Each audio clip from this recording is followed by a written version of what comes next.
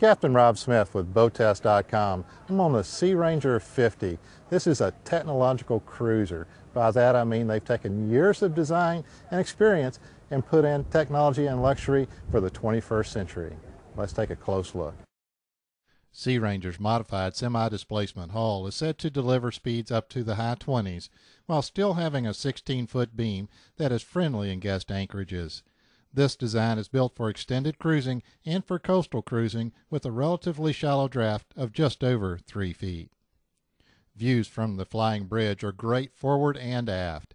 Notice the generous use of teak decking on board.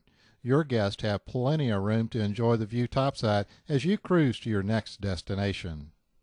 The inside really gives you a lot of room and a lot of open feeling. Here at the helm, I have plenty of room. Even when I stand up, I have overhead room because they've changed the angle of the roof. The galley itself is open out to everybody. Everybody likes to hang around in the kitchen. This way, you're all together. The interior is as comfortable and elegant as a living room in your home. The helm is well laid out with good views all around, front and sides.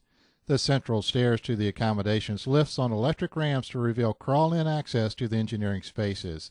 You have more room to work on the engineering spaces through the salon floor. Accommodations are roomy for a yacht of this size, certainly comfortable for an extended cruise.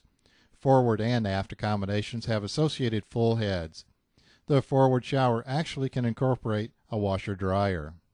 The SeaRanger 50 is designed to be comfortable in all conditions, delivering a dry ride with little roll and claims to be comfortable even in a quartering sea. SeaRanger also says the 50 can cruise over 800 miles, cruising at 8 knots, leaving a 10% reserve.